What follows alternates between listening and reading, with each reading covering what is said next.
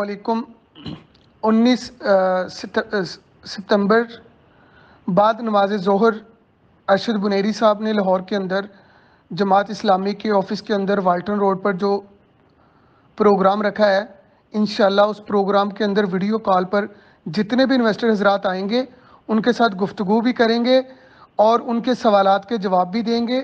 हमारा तरीक़ाकार क्या होगा?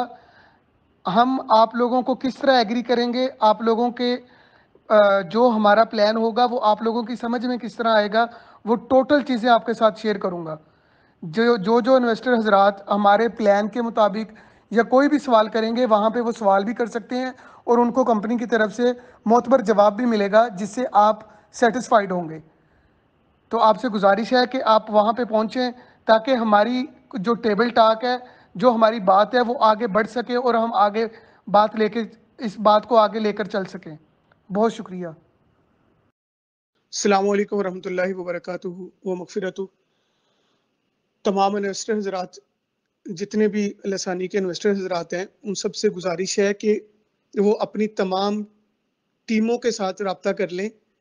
जो जो टीमें जिन जिन के थ्रू उनकी इन्वेस्टमेंट हुई थी वो आपको आपकी पेमेंटों की रिकवरी का शेड्यूल बता देंगे कि उसका शेड्यूल क्या है।